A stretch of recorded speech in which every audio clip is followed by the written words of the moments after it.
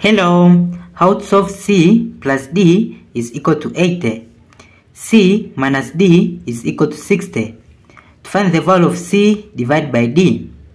So first, in the first equation, which is this, C plus D is equal to 80, we add by the second equation, which is C minus D is equal to 60 then it will be equal to from C plus C is 2C D minus D is 0 so this and this will cancel.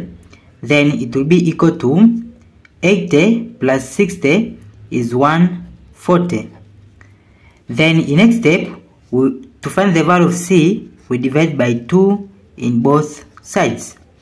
So this and this will cancel then it will be C is equal to 140 divided by 2 is 70. Then from the first equation, which is this C plus D is equal to 80, we substitute the value of C, which is 70. So it will be 70 plus D is equal to 80 then we take this 70 into this side right side.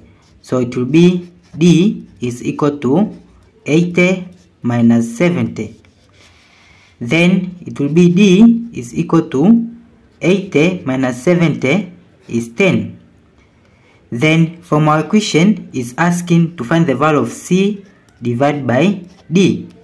So it will be equal to from c is 70 then divide by d is 1 is 10 so it will be c divided by d is equal to 70 divided by 10 is 7 therefore this is the final answer for the value of c divided by d in this our problem.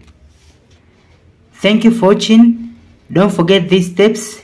To miss out subscribe to my channel and see you in the next video. Bye bye